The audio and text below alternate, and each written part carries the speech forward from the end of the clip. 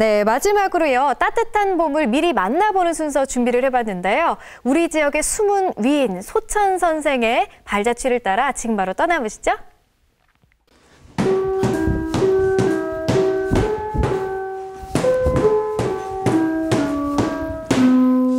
나리 나리 이렇게 시작하는 봄나들이 동요 여러분 다들 알고 계시죠?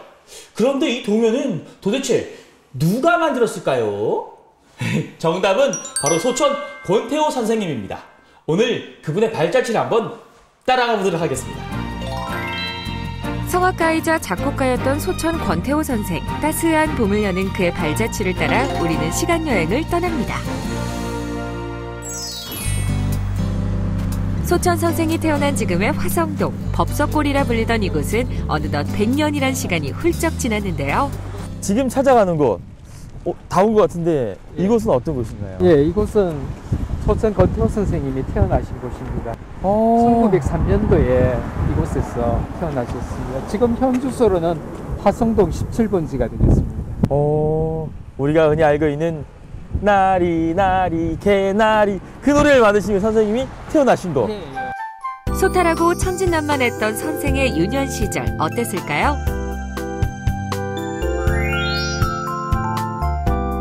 생가터와 불과 얼마 떨어지지 않은 곳에서 우리는 권태호 선생의 또 다른 흔적을 찾았습니다. 이곳에서도 이 권태호 선생님의 흔적을 찾을 수 있다고요.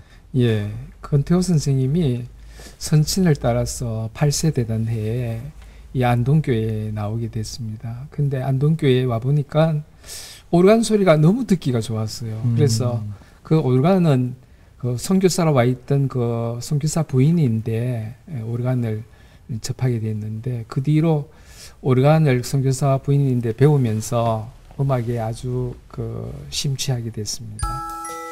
가난했던 시절 풍금이 있었던 예배당은 언제나 선생의 학교이자 놀이터였는데요. 다시 발길을 옮긴 곳은 한 중학교. 이곳 안동중학교에도 소천 선생님께서 만드신 교가가 있는 곳이라고요. 예, 손전 선생님은 안동중학교 교가뿐 아니라 예, 이 생명과학고 옛날에 농인고등학교에 교가도 작곡하셨고 어, 교가뿐 아니라 공가까지 합쳐서 114곡의 교가 공가를 작곡하셨습니다. 와 대단한데요. 어 여기 교가가 있는데 선생님? 권태호 선생님이 직접 작곡하시고 이효상 작사로 우리가 어릴 때이 곡을 많이 부르면서 살았었죠. 어 아니 그렇다면 우리 선생님도 이 학교 졸업생? 예, 예.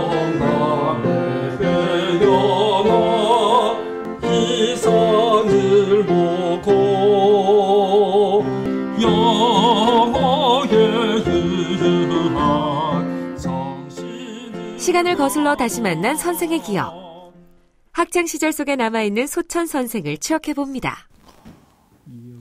혹시 관장님 학교 다닐 때도 우리 교가 이렇게 멋있구나라는 생각이 드셨어요? 예, 우리가 무슨 행사를 할 때마다 이 교가를 부르면서 우리 학교 사랑하는 마음을 가졌었고 선생님이 어, 작곡하신 권태호 선생님이 작곡하신 이 교가를 부르면은 어릴 때 생각이 절로 납니다.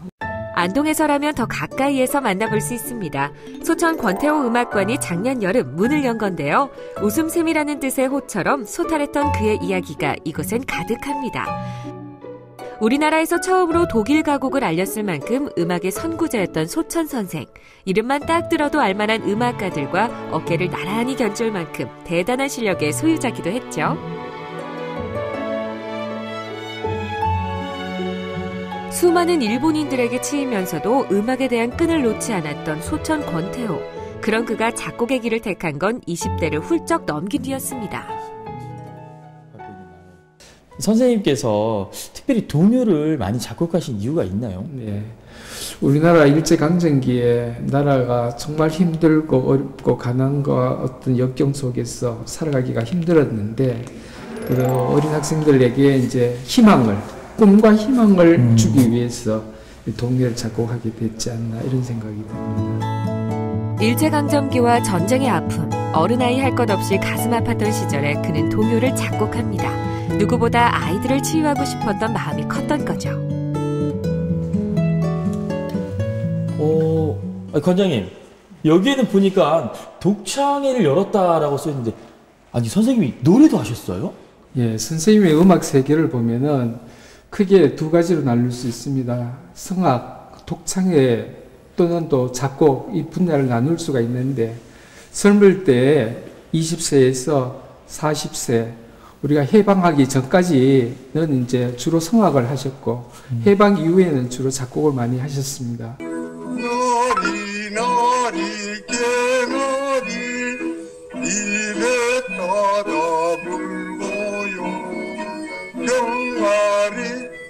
종종종 봄나들이 갑니다 동요를 작곡할 만큼 소탈하고 순수한 우리 권태호 선생님께서 또 다른 장르의 노래를 또 만드셨다고요. 예, 이쪽에 보시면은 국가를 작곡하셨습니다. 어, 군가요? 예. 유난히 아이들을 아꼈던 권태호 선생. 한켠에는 나라를 사랑하는 마음 또한 고이 간직해 왔는데요. 어느덧 100년이라는 시간이 지난 오늘 이렇게 알게 모르게 많은 곳에서 그의 업적을 기리기 위한 일들이 이어지고 있습니다. 권태호 선생님의 음악 업적을 기리다 보면은 안동 지역 출신으로서 참 안동의 음악이 굉장히 이렇게 척박한 곳이지 않습니까? 그런데도 이렇게 유명한 분이 계신다는 것에 대해서 저희들이 굉장히 자랑스럽고 아시는 분은 잘 아시는데 또 모르시는 분도 있어요. 근데 그 분이 정말 우리들에게 정말 알면은 우리나라 초창기 음악계에 음악계에 굉장히 지대한 영향을 미쳤는데 특히 안동 출신이라는 것에 대해서 저희들은 굉장히 뜻을 가지고 의미를 가지고 이 밤이 깊어갈수록 잔잔히 울려 퍼지는 이중주의 선율. 우리는 소천 선생의 얼굴을 떠올려 봅니다. 사람들을 순수한 동심의 세계로 이끌고자 했던 소천 권태호 선생. 소천 선생과 나란히 걷는 봄나들이 함께 떠나보시면 어떨까요?